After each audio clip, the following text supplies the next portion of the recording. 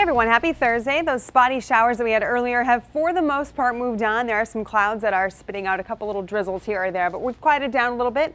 We will also see a little bit of sunshine coming back out, just a little bit of it over northern New York and soon over the Champlain Valley and hints of that throughout the rest of the day here. But more clouds than sun into the afternoon hours as we sit kind of in the middle of this big system.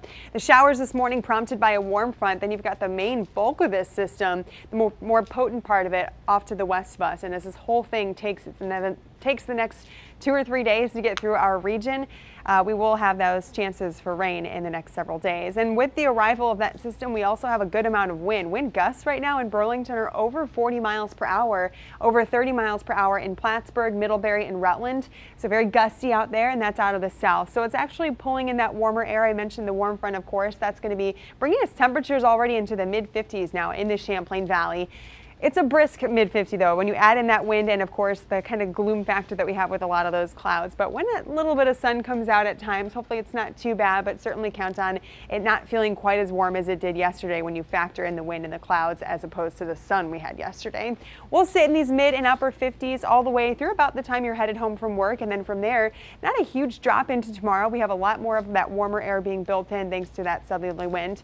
Uh, so do count on again some spot showers on and off here or there throughout the rest rest of the afternoon hours and maybe into this evening, but no washout for today. I've been saying that the last couple of days between today and for most of tomorrow's rain, it's just going to be spotty light stuff, kind of like we had earlier this morning at most. So you can see tomorrow morning a couple little showers around.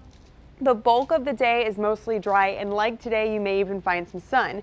You head into the evening hours, though, Friday night and into overnight. Watch some of these pockets of heavy rain fill out a little bit towards midnight. You're going to find some downpours, maybe some gusty winds out of that, and that's going to last through midnight and into early on Saturday morning. Now, that is the window, the timing of which we're expecting the most widespread and the heaviest of that rain, and that is not good for the flood potential. So we're watching for that potential thanks to plenty of rain that's going to be on the way. We're looking at over the next few days an inch to an inch and a half or maybe even some locally higher amounts of that rain. Now add that into the very wet saturated ground that we already have from earlier this week's rain and flooding and then add that to the snowmelt that we're going to get with the warm up we have headed our way to and that's just a bad combination. So again Friday night into Saturday morning and then on and off throughout the day Saturday periods of rain continue.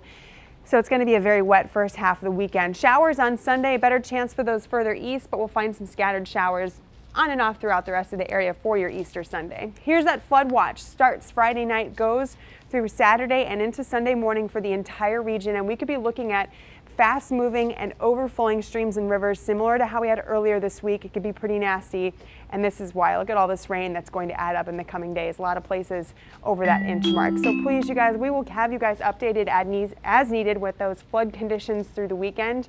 Just make sure you have a plan and are paying attention. There's that warm air it comes with. We'll be in the mid 60s. After that, we should dry up at least a little bit at times later next week, but the unsettled weather pattern sticks around for a few more days really important to be ready for a lot more water coming. It sounds like maybe some more flooding and that sort of thing. Yeah, exactly. That's absolutely the thing we're watching in the next few days. So just be alert. Stay tuned here on air and we're online, of course, with any information you guys need. Just have a plan. That's that's a good thing to take out of this.